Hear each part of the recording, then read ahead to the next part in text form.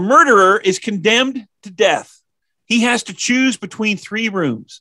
The first is full of raging fires, the second is full of assassins with loaded guns, and the third is full of lions that have not eaten in three years.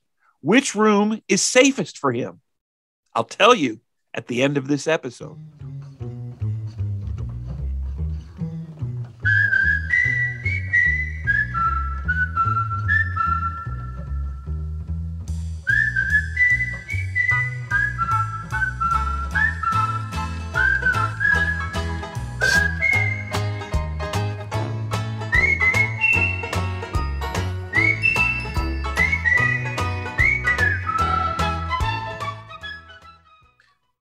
Good morning. It's Sunday, February 6th, 2022, and this is Cafe Devo coming to you almost live from First Congregational Church at the point of Saginaw and Washtenaw here in beautiful downtown Durand, Michigan.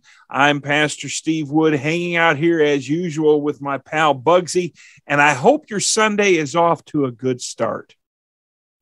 Hey, before we get started this morning, we want to send out birthday greetings to one of the men of our congregation who is celebrating a birthday today. Hey, Brandon Stull, it's your birthday.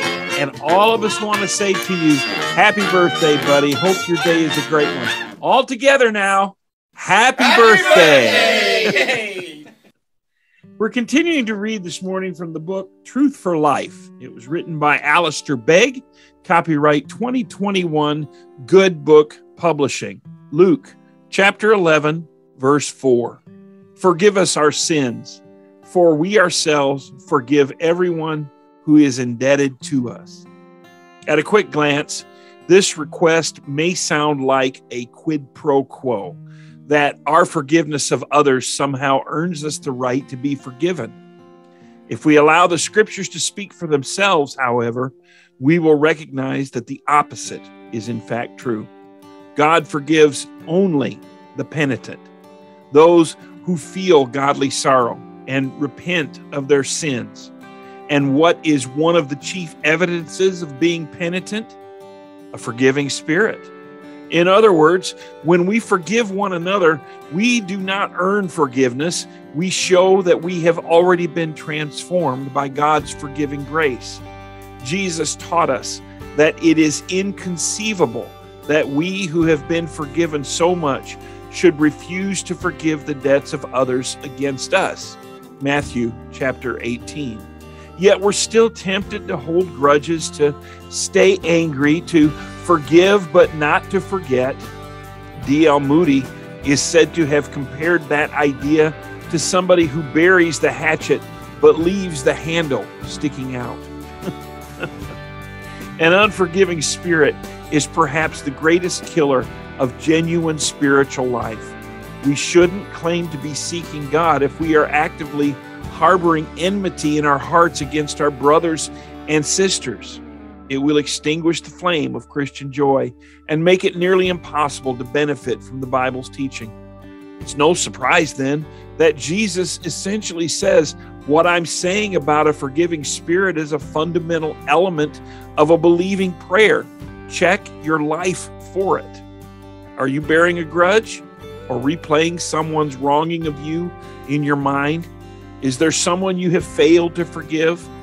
Reflect on the forgiveness you have received and ask God to teach and enable you to forgive. For in your forgiveness of sins of others against you, you reveal that you understand His grace and have been truly forgiven by Him.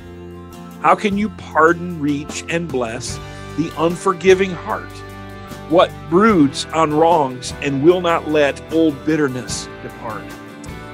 How can you pardon, reach, and bless the unforgiving heart that broods on wrongs and will not let old bitterness depart?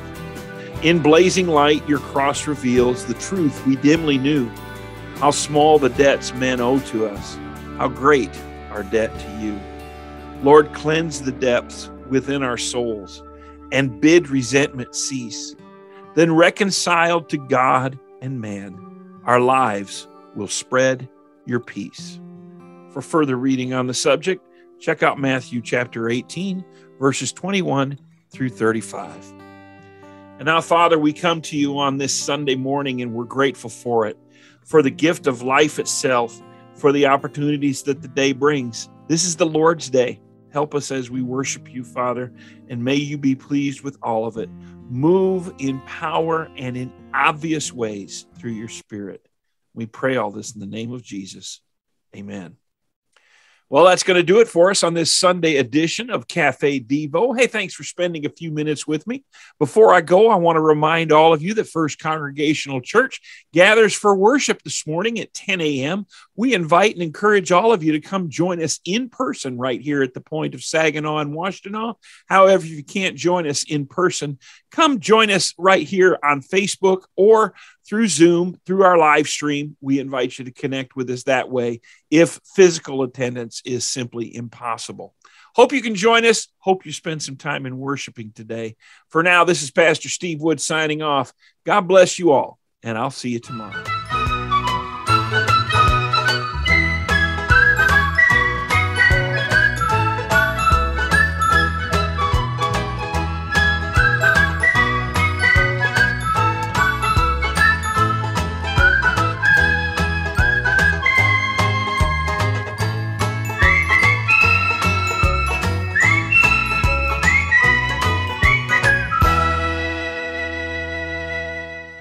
By the way, the answer to that question I asked at the beginning of this episode, it's the third room. Lions that have not eaten in three years would be dead.